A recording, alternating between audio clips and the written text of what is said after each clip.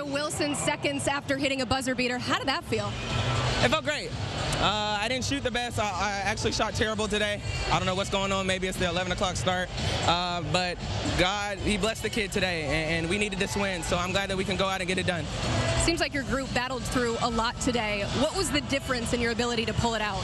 Um, our defense. I think we just kind of wanted to make that a huge factor. Uh, we knew coming in it was going to be a tough win uh, for us to try to get, a game for us to try to get. But we're slowly starting to string them together, and I think that's kind of what the attitude came in today. It was just like, just get it done by any means, just get it done.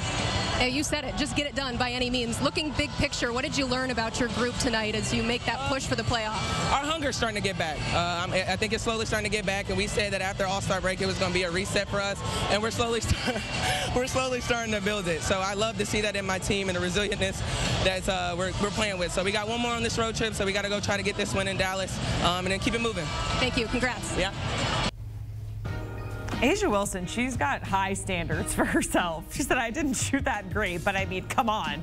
Most 20-point games in a season. A'ja Wilson is up there twice, and she's in good company with DT and Stewie. Again, she had the uh, game-winning field goal as time expired today, where the Aces got the win over Chicago 77-75.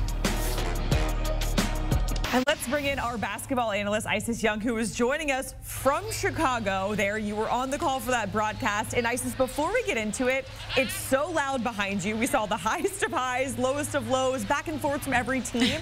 Just kind of paint the picture of the environment that you're in right now after that exciting finish. Oh my gosh, honestly, my heart is still beating a little bit. I was jumping as shots were being made. When Chennedy Carter knocked down her triple to send it to, uh, you know, the Aces getting the ball back with a minute left, with a second left, and then, you know, A'ja Wilson's play. I just think how beautifully drawn up was it from Becky Hammon, but the environment in here was like a championship level environment. This felt like game five of a finals or semifinals. A lot of these players just with so much pride when they play each other, and so it was such a great game, such a competitive game, and like Ashley said, a thriller. Um, Isis, I want to get into into the aces, right? Because A'ja Wilson certainly came up clutch again for this team when it mattered. She leads the way in points, but we did see the defending champs struggle for certain points of the game. But what did you like about how they were able to hold on and ultimately come out on top, down to the absolute final seconds and down to the wire there? You have to acknowledge that there is a ton of pressure surrounding the Las Vegas Aces, right? They're back-to-back -back champs going for a three-peat. They have the best player in the world.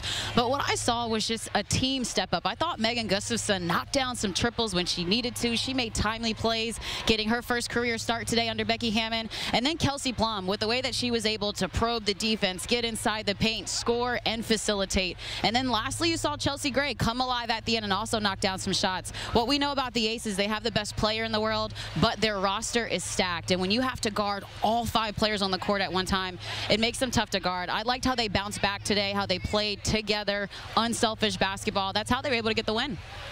When we talk about the sky, of course, Chennedy Carter, she was absolutely phenomenal. She had 25 points, that extremely clutch three-point shot. But we got to talk about Angel Reese as well, notching her third straight 20-rebound game, mm. tying the rookie single-season record for double-doubles. How impressive has she been to you during this run for Chicago? Oh, terrifically impressive. I, I, mean, there's there was no expectation for Angel to come into this league and to be leading the league in rebounding, to have uh, almost setting the record, on the brink of setting the record for the most double-doubles in a rookie year. She needs one more, and then she'll break that record. I think she's been tremendous. I think she's been a sponge. She's here to learn, to grow. She's worked on her versatility during the Olympic break, and she is helping Chicago build something really special here for the future. I think she's been extremely impressive, and equally so has Chennedy Carter not with just her game and the way that she's played, but the leadership that you're seeing from her, the composure down the stretch. It's so amazing when you find players who love playing for a coach and Teresa Weatherspoon and what that means. And you can tell that that exists here in Chicago. And these young players for Chicago, they are going to make their mark on the W if they can stay together. Mark my words, guys, in a couple of years, this will be a championship contending team if this nucleus can stay together. Yeah, certainly a bright future ahead for Chicago, currently eighth in those WNBA standings. Isis, we certainly appreciate appreciate it. A fantastic job on the call. Thank you so much for making the time in this crazy, insane game where the Aces came out on top, defeating the Sky in that matchup on CBS. Getting a look at the upcoming schedule, the uh, Vegas Aces, they're going to be in action on August 27th against Dallas, and they have the Dream, Mercury, the Sky again on September 3rd, and then the Sun, who are also a title contending team. As for the Sky, they have the Mystics on deck on August 28th, followed by the Fever and Caitlin Clark. The Lynx, the Aces, of course, again on September 3rd, and then rounding it out with the Sparks on September 6th.